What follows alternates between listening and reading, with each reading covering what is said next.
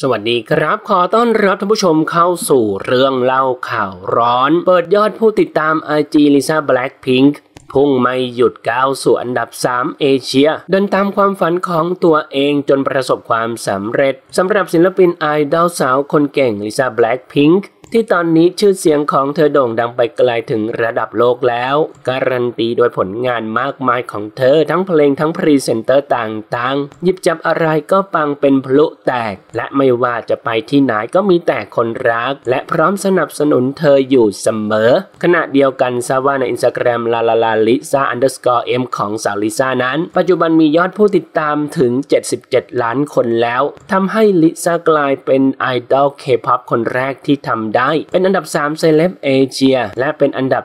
39 ของโลก และเชื่อว่ากระแสความฮอตของลิซ่ายังคงปังไปได้ไกลกว่านี้อีกแน่นอน ท่านผู้ชมนะครับ มีความคิดเห็นอย่างไรกับเรื่องนี้ลองแสดงความคิดเห็นกันเข้ามาดูนะครับ ขอขอบคุณข้อมูลจากที่นี่ .com ขอบคุณครับ